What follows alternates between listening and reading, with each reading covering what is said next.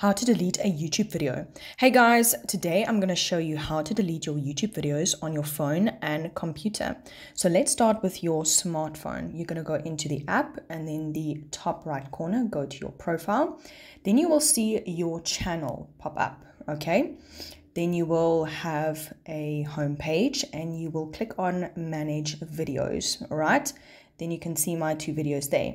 Then you will click on the right three dots at one of the videos and you will see the options edit and right at the bottom delete. So you can click on delete and you can click on delete. But please be sure to be sure that you want to delete this video because once you do it, it is permanent. Okay. I'm going to show you another option. So go to the three dots again and you can click on edit. Then you will see the visibility option, the second option, and you can click on it. Then you can either click on the public, unlisted, or private. For private, it will only be people that you can choose to view, okay?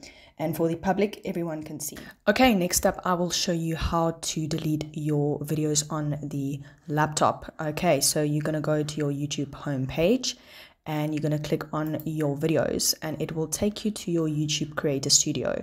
Please be sure to be on your YouTube Creator Studio app okay let's just give it a little bit time to load. Okay then you'll be on the content okay? You can see here's the video and what you can do is you can click on the three dots and you'll click on delete forever. That will permanently delete the video. Or again if you want to just change the visibility you can click on private and you can select the option that you want to use.